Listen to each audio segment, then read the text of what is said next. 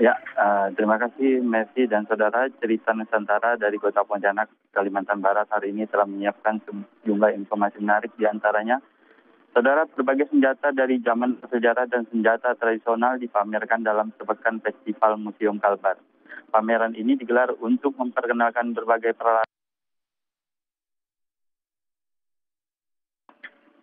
Berbagai senjata zaman prasejarah yang terbuat dari batu dengan berbagai bentuk dan ukuran ini dipamerkan di Gedung Nusantara Museum Kalimantan Barat pada pameran koleksi senjata tradisional Museum Kalbar.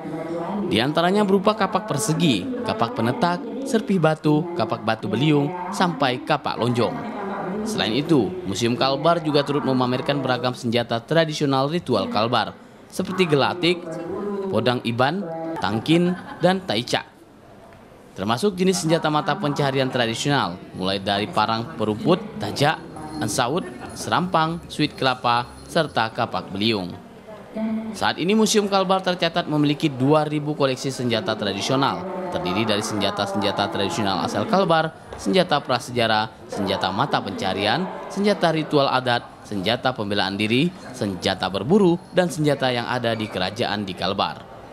Ragam senjata tradisional ini sengaja ditampilkan sebagai upaya edukasi kepada masyarakat. Selain itu juga kita menyimpan barang-barang hibah sumbangan dari teman-teman yang memiliki senjata-senjata tradisional yang mungkin uh, sudah tidak mampu lagi menyimpannya atau tidak mampu merawatnya. Mereka serahkan ke museum karena memang museum tempatnya untuk menyimpan barang-barang agar kita bisa manfaatkan dapat dikenal orang, dapat kita simpan dan dapat kita lestarikan. Salah satu pengunjung mengaku tertarik untuk melihat pameran ini untuk mengetahui seperti apa alat atau senjata tradisional yang digunakan oleh nenek moyang zaman dahulu. Bahkan pengunjung juga mengaku kagum dengan alat-alat ini sebab zaman dahulu belum memiliki teknologi modern seperti saat ini. Kalau untuk acaranya mungkin udah banyak ya, cuman kalau edukasi edukasi untuk mengajak uh, kalangan muda, apalagi dari mahasiswa-mahasiswa ya, menurut saya itu kurang.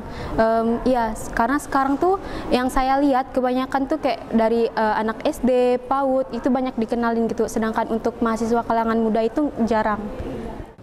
Pameran ini akan berlangsung selama satu pekan hingga 18 Oktober 2023. Edukasi dan sosialisasi koleksi Museum Kalbar diharapkan terus dilakukan, terutama kepada generasi muda, sehingga semakin banyak masyarakat yang tertarik untuk mengunjungi museum.